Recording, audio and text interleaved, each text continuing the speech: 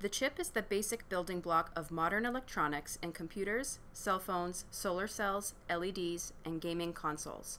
Chips are produced on wafers made up of materials known as semiconductors.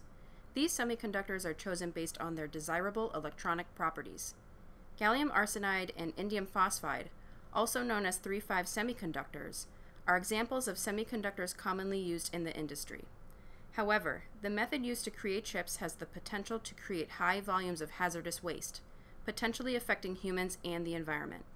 Wen Jiang, a postdoctoral researcher at the Center for Environmental Implications of Nanotechnology at UCLA, is currently studying the potential effects of this waste.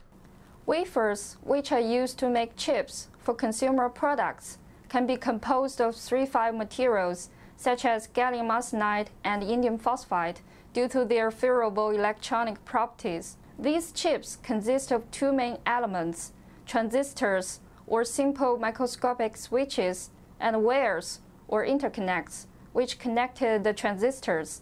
In order to improve performance and cut costs, the transistors and wires are made smaller and smaller with each new generation of chip thus increasing the demand for the use of semiconductors at a smaller size, the nanoscale, which is 100 nanometers or less.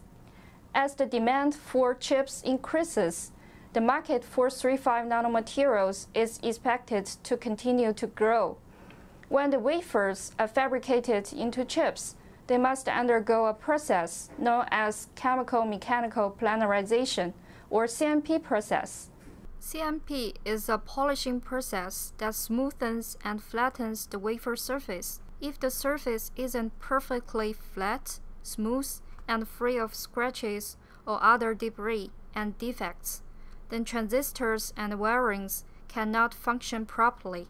First, the wafer is placed into a rotating carrier arm which holds the wafer face down onto a rotating polishing pad. Next, a mixture of water, chemicals, and abrasive nanoparticles known as a pristine slurry is dispensed onto the polishing pad. The key role of the nanoparticle in the slurry is mechanical. The rolling, bouncing, and sliding action of the particle wears away at the surface. Afterward, the spinning wafer is pressed down onto the pad allowing the slurry to come into contact with the wafer surface. This process is repeated multiple times on various layers of wafer.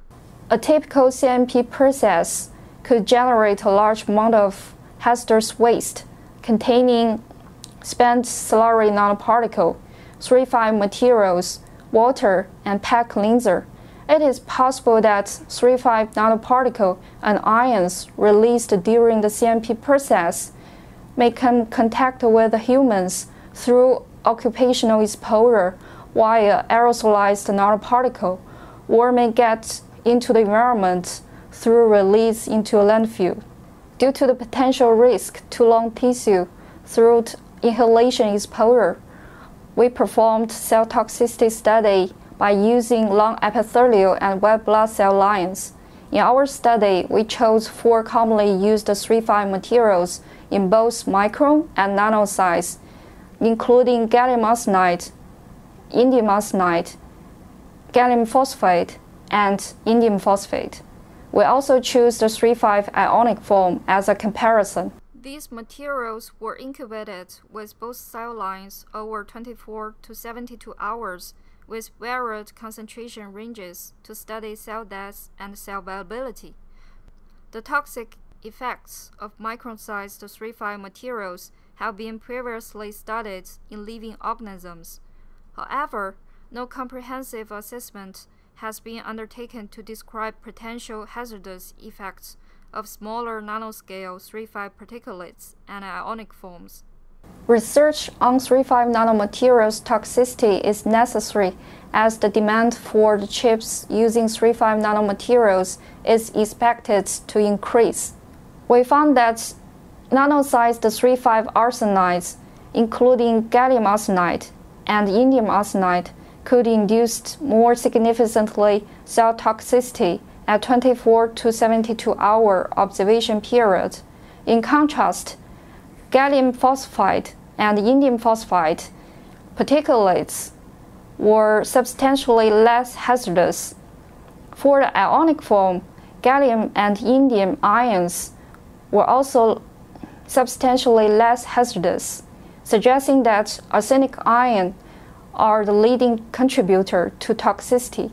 The principal mechanism of 3,5-arsenide's nanoparticle toxicity is due to the dissolving of the arsenic ions both inside and outside the cells. These results demonstrate that 3,5-arsenides, gallium arsenide, and indium arsenide nanoparticles contribute in a major way to the toxicity of 3,5 materials that could appear in slurries. The findings of our study are very important for considering how to deal with the hazardous potential of CMP slurries in relation to occupational exposure. The toxicity results of this material are useful in planning studies using model organisms, toxicological analysis of various complex CMP slurries, and occupational disease prediction in semiconductor industry. In order to validate our findings from cell toxicity study, we'll be using the same 3,5 materials to perform animal study. This will help us understand the toxicity effect in lung tissue induced by 3,5 materials.